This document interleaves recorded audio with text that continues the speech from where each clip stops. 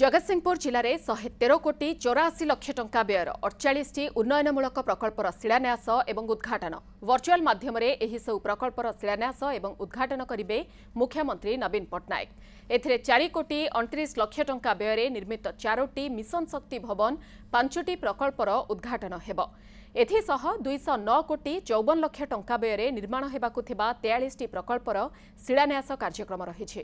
ଆଜି ସନ୍ଧ୍ୟା ପାଞ୍ଚଟାରେ ଜିଲ୍ଲାପାଳଙ୍କ କାର୍ଯ୍ୟାଳୟ ପଡ଼ିଆରେ ଆୟୋଜିତ କାର୍ଯ୍ୟକ୍ରମରେ ଏହିସବୁ ପ୍ରକଳ୍ପର ଉଦ୍ଘାଟନ ଏବଂ ଶିଳାନ୍ୟାସ କରାଯିବା ପାଇଁ ବ୍ୟବସ୍ଥା କରାଯାଇଛି।